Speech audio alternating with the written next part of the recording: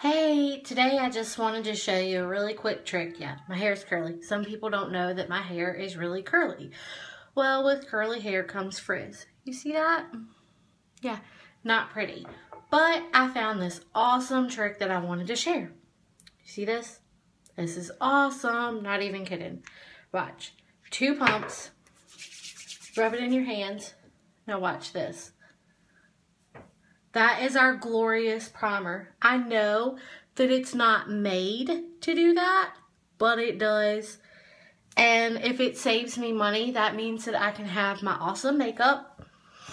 I can wear my hair curly, which saves me a ton of time. And I don't have to buy anything extra. All right, hope y'all have a good day.